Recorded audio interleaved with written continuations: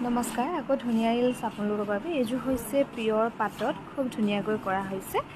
ৰাণী pink কালাৰত হ'ব। কালাৰটো হ'ব ৰাণী পিংকত। ইয়াতে অকল চিলভাৰ গুণাত ধুনীয়াকৈ বনোৱা হৈছে কাপোৰযোৰত। আৰু মাজৰ বুটাবোৰ সৰু সৰু চিম্পুলকৈ ধুনীয়াকৈ কৰা হৈছে এইযোৰ কাপোৰ। বিৰাট মৰম লগা। এইটোকেইটা হ'ব ছাইড পাৰি। ৰাণী পিংকত চিলভাৰ গুণাত ধুনীয়াকৈ কৰা হৈছে এইযোৰ কাপোৰ। আৰু মেখেলাখন হ'ব এইখন। ৰ'দে দেখুৱাই লওঁ। তৰা বুটা দি ধুনীয়াকৈ কৰা হৈছে মেখেলাখনত। এইটো হ'ব ব্লাউজ পিচটো আৰু এযোৰা কাপোৰ আপোনালোকে ল'ব পাৰিব।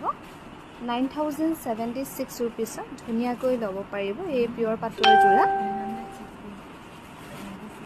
হয় নেকি?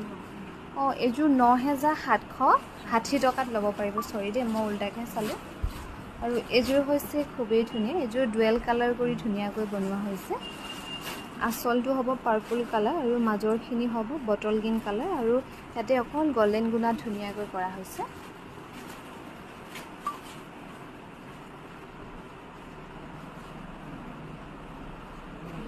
এইখন হ'ব মেখেলাখন। এখন মেখেলাখন হ'ব খুব ধুনীয়াকৈ কৰা হৈছে এইযোৰ এইকেইটা হ'ব ছাইড পাৰি। সৰু সৰুকৈ কৰা হৈছে। দেই